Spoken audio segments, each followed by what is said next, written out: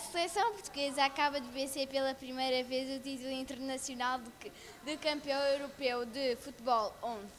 Uma notícia de última hora que está a causar festejos por toda a Europa.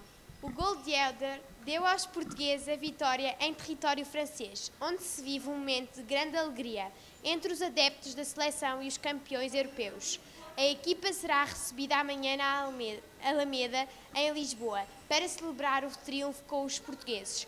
Por agora, continuamos a acompanhar a festa aqui em direto de Paris. Portugal! Uh! Este é para